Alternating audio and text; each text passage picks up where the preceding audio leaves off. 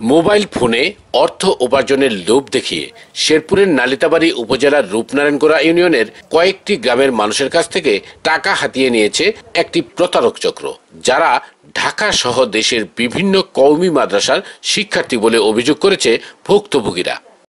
থানায় লিখিত অভিযোগে তারা জানায়, কমপক্ষে একশো ডলার সমপরিমাণ টাকা বিনিয়োগ করে মোবাইল ফোনে একটি অ্যাপস চালু করলে চারশত পঞ্চাশ টাকা লাভ পাওয়া যাবে। পঞ্চাশ হাজার টাকা বিনিয়োগে বাইশ শত পঞ্চাশ টাকা।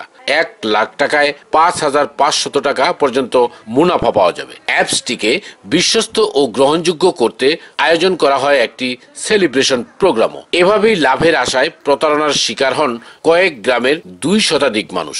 উনি বলছে যে এক লক্ষ টাকা বললে পাঁচ হাজার টাকা, আর ষাট হাজার টাকা বললে সাড়ে পাঁচশো টাকা। একটা গাই বাছুর ছিল, মনে করে আশি হাজার টাকা বিক্রি করছে।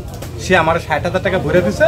লোকে এক লাখ এক লাখ দশ হাজার সাতত্রিশ হাজার বাউন্ন হাজার ষাট হাজার এরকম ভাবে টেহা পড়ছে এই ধরনের প্রলোভন থেকে বাঁচতে সতর্ক হবার পরামর্শ দিলেন উপজেলা নির্বাহী কর্মকর্তা। যাদের মাধ্যমে তারা টাকা দিয়েছে তাদের বিষয়ে তাদের সম্বন্ধে মামলা হবে এবং মামলার তদন্তের ভিত্তিতে যারা এই টাকার যোগাযোগটির সাথে ইনভলভ সেই মূল হোতাটি বের হয়ে আসা সম্ভব যারা প্রতারিত হয়েছে তারা কেন এত শর্টকাট ওয়েতে এত বেশি ইনকাম করতে ইচ্ছুক?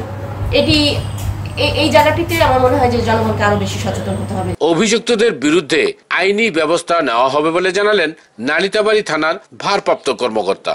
নতুনভাবে যে প্রতারক চক্ররা প্রতারণার একটা অবলম্বন করেছে এই অ্যাপস মাধ্যমে বিভিন্ন সময় বিভিন্ন লোকজন প্রতারিত হয়ে থাকে।